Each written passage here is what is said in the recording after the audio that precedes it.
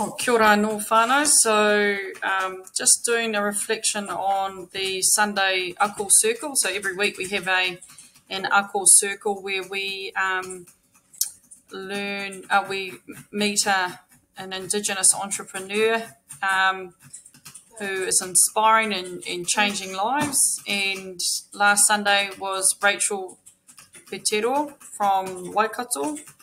Um, her so she's developed some um, online um, personal growth um, programs, um, and her focus is on Indigenous Maori wahine. Um, her visions to empower 100,000 Indigenous women and their families to thrive one coaching conversation at a time. So hers is about um, is a, is about empowerment and um, changing. You know, again um, from a fixed mindset to a growth mindset. So um, yeah. Um, some of the key phrases um, or key points were invest in your development. Um, distraction is the death of an entrepreneur.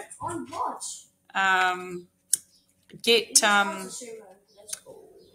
get uncomfortable, and that's growth. If you're if you're if you're comfortable, if you're sitting back and you're comfortable, then um, then you need to you're not growing. So you need to actually um, challenge yourself to get uncomfortable.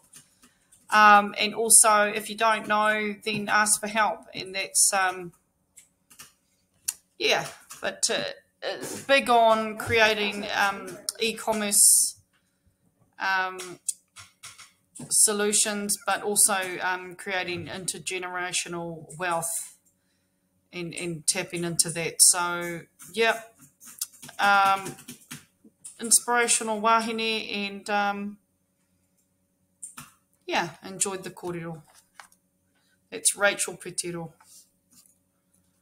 Kia ora.